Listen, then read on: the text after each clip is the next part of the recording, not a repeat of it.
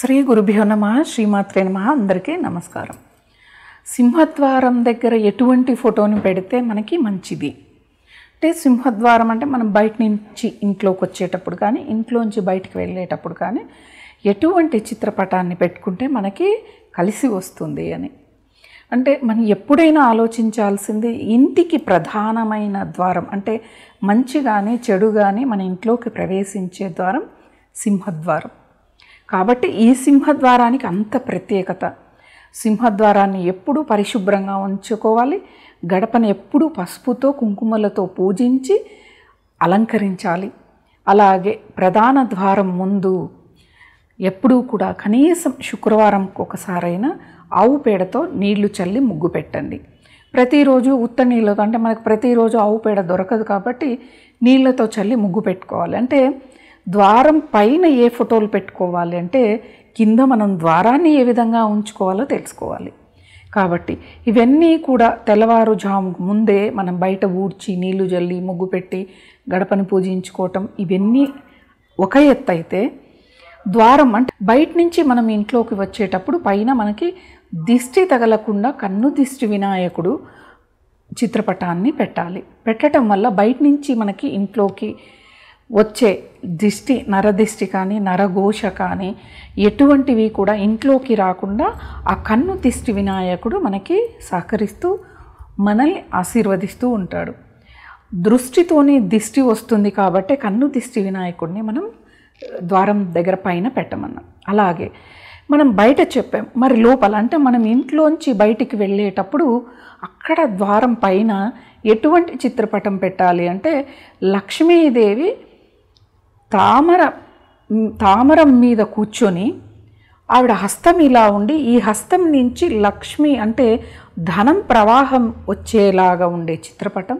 అలాగే లక్ష్మికి ఇరువైపులా ఏనుగులు ఉన్న చిత్రపటాన్ని పెట్టుకోవాలి.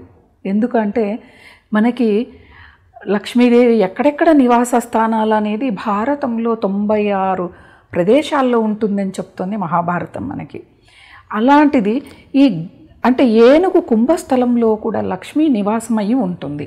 మరి ఎందుకు అంటే మనం ఒకటి గమనిస్తే పూర్వకాలం మహారాజులు ఇప్పుడు కూడా పెద్ద పెద్ద వాళ్ళు ఎవరైనా ఊరేగించాలి అంటే ఏనుగు మీద కుంభస్థలం ముందు వాళ్ళకి అంబారి ఏర్పాటు చేసి కూర్చోబెడతారు. అంటే వాళ్ళు అక్కడ కూర్చోవడం వల్ల లక్ష్మీకరం అనేది చెప్తోంది శాస్త్రం. కాబట్టి అలా ఏనుగులు ఇరువైపులా ఉండు ఉన్న ఆ చిత్రపటాన్ని మనం ఇంటి లోపల అంటే ప్రధాన ద్వారం మనం బయటికి వెళ్ళే ద్వారం దగ్గర పైన మనం పెట్టుకోవాలి. ఇది కాకుండా కాళీ పాదాలని మనకి చాలా వెబ్సైట్లలో ఉంటాయి. కాళీమాత అందెలు పాదాలు ఉంటాయి అన్నమాట అంటే ఆ పాదాలకి మెట్టెలు ఉంటాయి గజ్జెలు ఉంటాయి కడియాలు ఉంటాయి. అలాంటి పాదాలని నల్లటి కాళీ పాదాలని మనం ఆ సింహద్వారం పైన అంటే ఇంట్లోంచి బయటికి వెళ్ళే చోట మాత్రమే చెప్తున్నాను నేను ఇప్పుడు. ఆ పైన ఈ పాదాలని పెట్టుకోవటం వల్ల మనకి ఇంట్లోకి ఆ అమ్మవారి అనుగ్రహంతో అష్టైశ్వర్యాలు ఇంట్లోకి నడిచి వస్తాయి అనే దానికి సంకేతంగా ఇవి పెడతారు. ఎప్పుడూ కూడా రాక్షసుల బొమ్మలు కానీ ఇలాంటివి పెట్టడం వల్ల మనకి ఇంట్లో అంత గొడవలు గొడవలుగాను ప్రతి ఒక్కరిలో క్రోధము కామము ఆవేశము ఇవన్నీ నెలకొని ఉంటాయి. ఎప్పుడూ కూడా ద్వారం పైన రాక్షసుడు బొమ్మలు అసలు అలా పెట్టకూడదు. ఇలా దేవుడి చిత్రపటాలని మాత్రమే పెట్టాలి.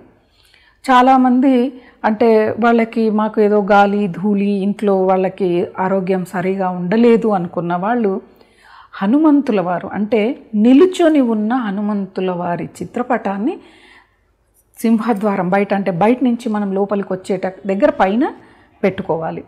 చాలామంది స్వస్తిక్ని కూడా పెడతారు. అది ఇంకా శుభకరం.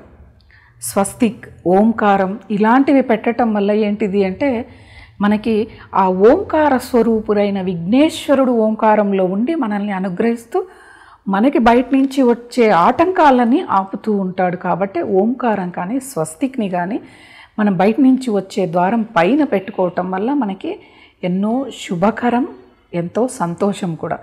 కాబట్టి ద్వారం విషయంలో చిన్న చిన్న జాగ్రత్తలు తీసుకోవటం వల్ల మనకు అన్ని శుభాలే జరుగుతూ ఇంట్లో ఉన్న ఇంట్లో ఉన్నవారు చేసే ప్రతి పనిలోనూ కూడా విజయం అనేది సంతరించుకుంటుంది.